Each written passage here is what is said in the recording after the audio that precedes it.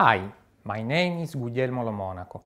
I'd like to briefly introduce you to two innovative gas-cooled reactors, namely the high-temperature gas-cooled reactors HTR, also known as HTGR, and the gas-cooled fast reactors, also called GFR.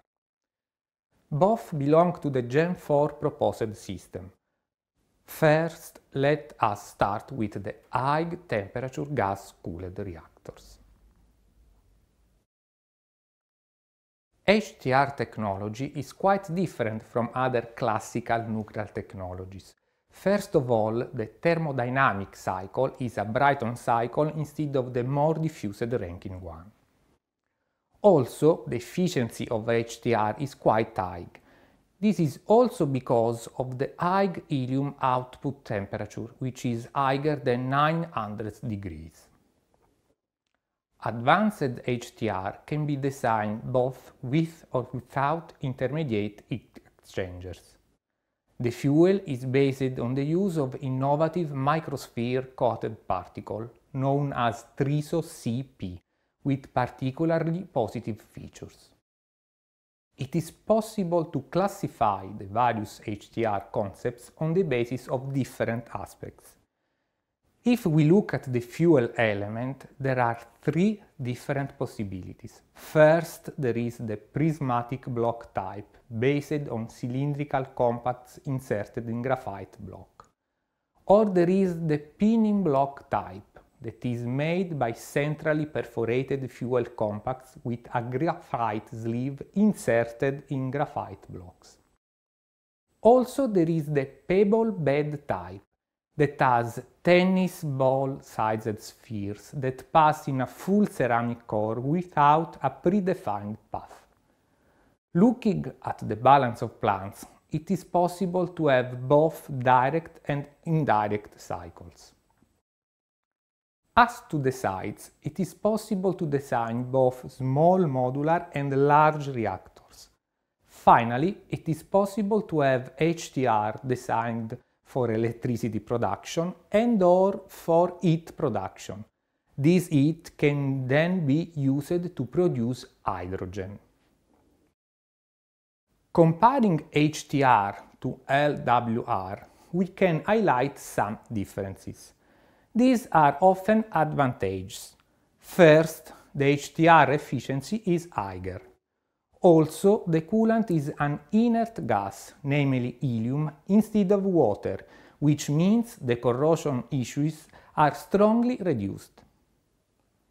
Another point is that the use of helium guarantees a single phase coolant with no phase change, even during accidents.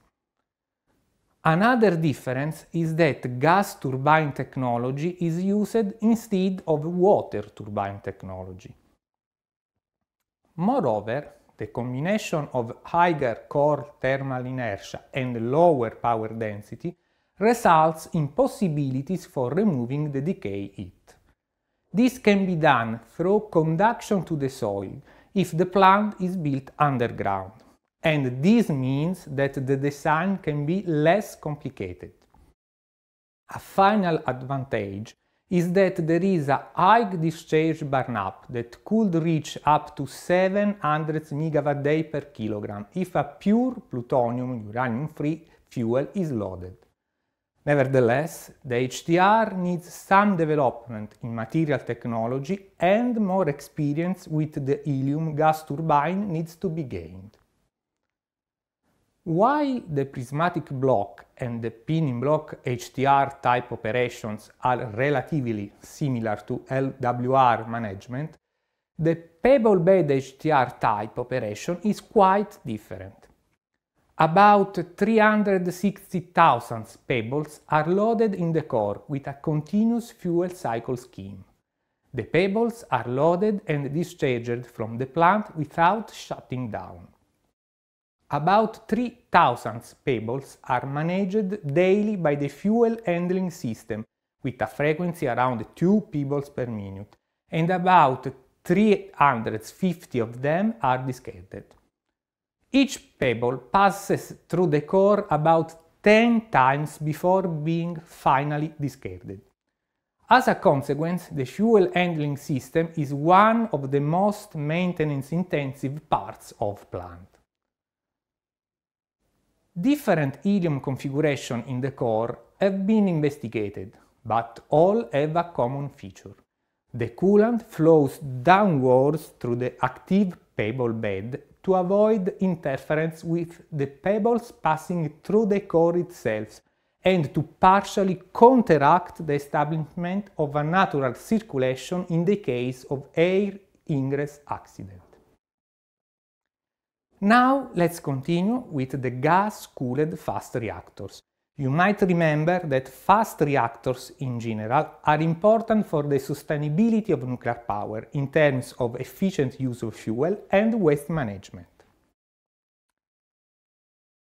GFR have several advantages, as for instance, the efficiency is higher than 40% and there is limited high-level waste production. Also, it has a small void coefficient, although it remains positive. The coolant is an inert gas, helium like in the HTR. Helium is a single-phase coolant with no phase change, even during accidents. Just as with the HTR, there is still a need for faster development and experience. For example, the gas turbines and material technology have not yet fully developed.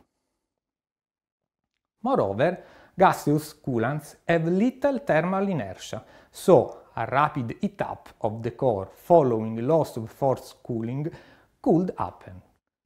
The lack of thermal inertia of the core structure and the high power density might also cause problems in the heat removal during accidents. Finally, building such very innovative concepts of GFR plants can involve additional issues that will need to be resolved in the future.